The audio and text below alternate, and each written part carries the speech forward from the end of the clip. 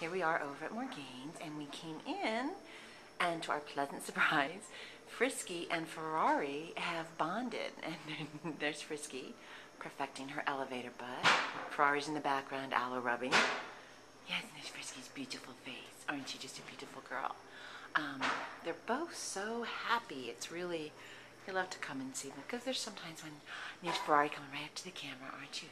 She's a beautiful girl, yes. Yes, it's so nice to see that. Because they both kind of were a little bit of loners. Frisky um, used to have some pals.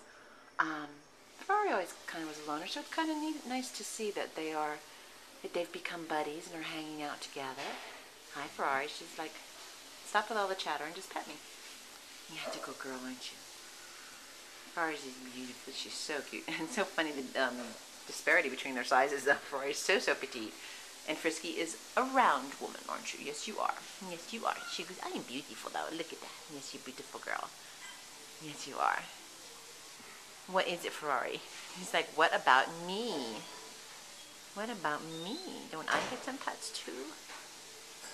The light from the window's not great, but... So they're doing really good. You ever get a chance, come up and visit them.